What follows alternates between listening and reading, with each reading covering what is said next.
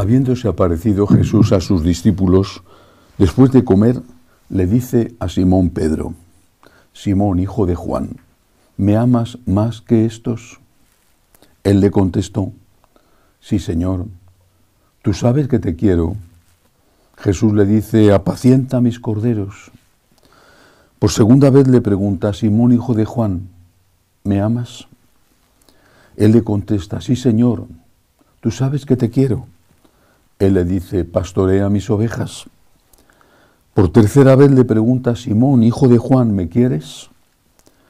Se entristeció Pedro de que le preguntara por tercera vez, ¿me quieres?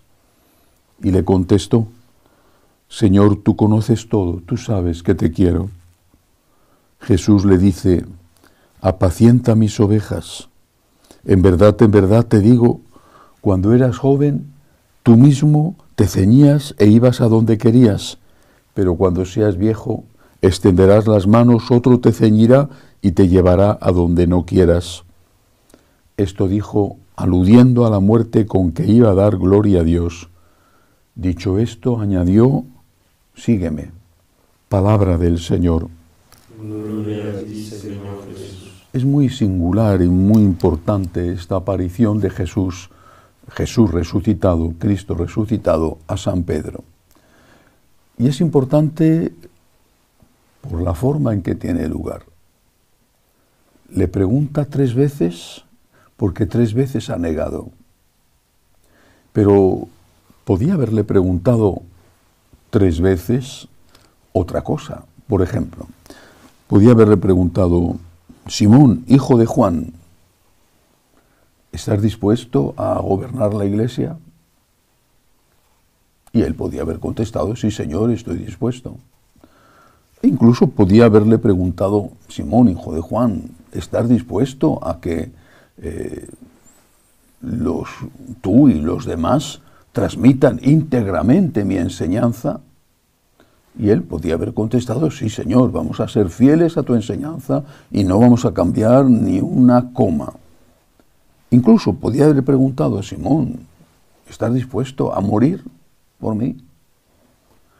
Y él podía haber contestado que sí, que estaba dispuesto, después de haber visto que había resucitado, a dar la vida por Cristo. Bien. Pero en cambio le pregunta si le quiere. ¿Me quieres? La primera vez, además, se lo pregunta comparando. ¿Me quieres más que estos? ¿Me quieres? ¿Me quieres? Porque al final ahí está todo. Y esa es la pregunta que nos hace Jesús a todos los bautizados, de una forma especial, a los evangelizadores, el Papa, los obispos, los sacerdotes, los catequistas. ¿Tú me quieres? Y esa pregunta solo puede tener una respuesta personal. No si aquel otro que tiene ese cargo, no, no. Está preguntándolo a cada uno de nosotros. ¿Tú me quieres? ¿De verdad tú me quieres? Yo no sé qué responderán los demás. Yo que me planteo esta pregunta de parte de Jesús todos los días, solo puedo contestar con temor y temblor. Señor, tú sabes que te quiero, pero tú sabes lo poco que te quiero y tú sabes que quiero quererte cada día más. Quiero quererte cada día más. Esa tiene que ser nuestra respuesta, porque contestar afirmativamente y sin duda me parece, por lo menos en mi caso, demasiado atrevido. ¿Tú me quieres? Sí, te quiero. Uy, a mí por lo menos me parece muy atrevido. Eh, primero no me parece correcto, en mi caso digo, eh, prefiero decir, Señor, tú sabes que te quiero, por desgracia te quiero poco y quiero quererte cada día más. Y solo después de haber respondido así, solo después el Señor te va a encargar una tarea. Es decir, solo aquella persona que tiene una relación personal con Jesús, aquella persona que tiene una relación de amor con Jesús, va a recibir un encargo, en este caso un encargo pastoral. Si no hay este amor a Jesús, ¿qué es un sacerdote. ¿Qué es? ¿Y cómo se va a tener amor a Jesús si no hay oración diaria, comunicación personal con Él?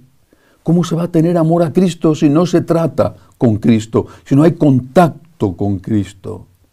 ¿Y en qué queda el sacerdote si no hay ese amor a Jesús o al menos el deseo de amarle y dolor por los pecados? ¿En qué queda? Es un pobre hombre. No sé si tendrá grandes cualidades oratorias o, intelectuales o incluso de gestión, de mando se convierte en un pobre hombre que da pena, da lástima. Quizá ocupe un cargo importante y quizá él se crea que es importante. Los demás ven rápidamente que está vacío, que no tiene nada. Él posiblemente piense que el cargo le da importancia. En realidad lo que hace es poner de manifiesto que no tiene nada que ofrecer la oración, la comunión con Jesús diaria. Eso es lo primero que nosotros, y no me refiero solo a los sacerdotes, también a los catequistas, a todos los que tienen una misión de evangelizar, los propios padres con los hijos, que tienen que evangelizarles. Eso es lo primero que tenemos que procurar y por lo que tenemos que preocuparnos antes que nada. ¿Tengo una relación con Cristo? ¿Todos los días estoy con el Señor? Si después falla mi evangelización, ¿no será que es porque el Señor no habla a través mío? Porque soy una campana que suena, pero no tengo la caridad, que es en primer lugar el amor a Dios, para transmitirla a los demás. Una vez que eso está, y es algo en lo que todos los días tenemos que trabajar, porque todos los días el Señor nos hace esta pregunta, pero tú me quieres, una vez que le contestamos con el corazón en la mano, lleno de temor y temblor, me da vergüenza decírtelo, Señor, lo poco que te quiero, pero quiero quererte cada día más. Entonces que el Señor, a San Pedro, a nosotros, que nos hace tres preguntas también a nosotros como a San Pedro, nos manda una tarea. Es muy significativo que no, no, es casual lo que dice Jesús, no está hablando por hablar. Es muy significativo que después de la primera respuesta de Pedro le dice, apacienta mis corderos. Mientras que después de las otras dos respuestas le dice, apacienta mis ovejas. Hombre, que los judíos no eran tontos y sabían distinguir entre un cordero y una oveja.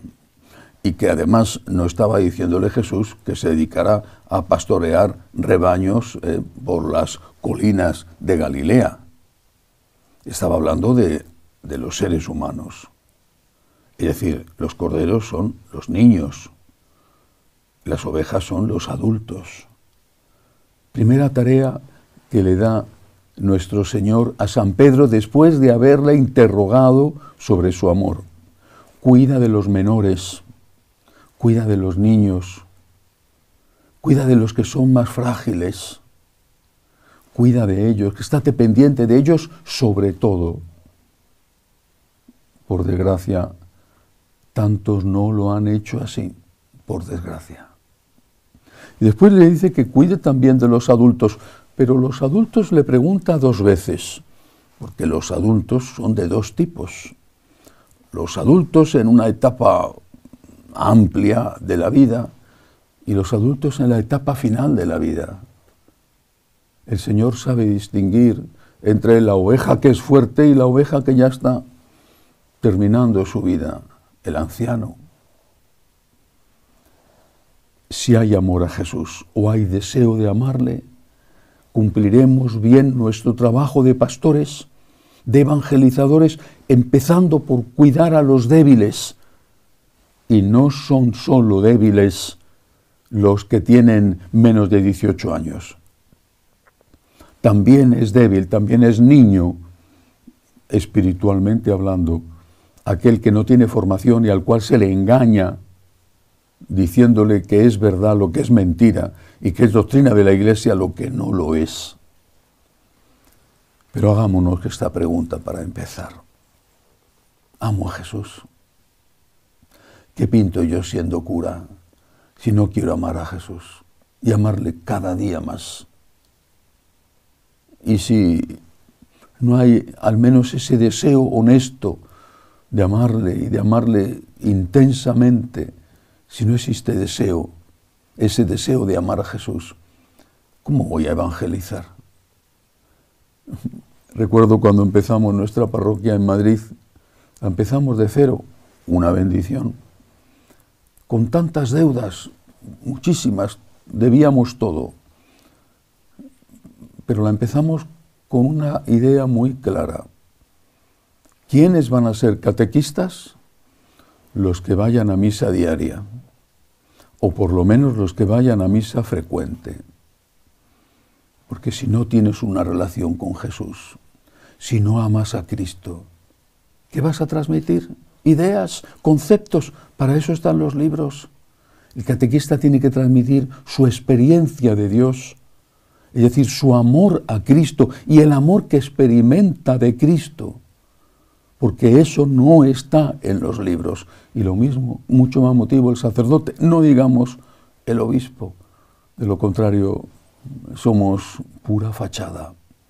Digámosle a Jesús, Señor, quiero amarte cada día más, perdóname que te ame tan poco, perdóname que no sea capaz de darte lo que tú tienes derecho a recibir pero quiero amarte cada día más con tu ayuda y con tu gracia.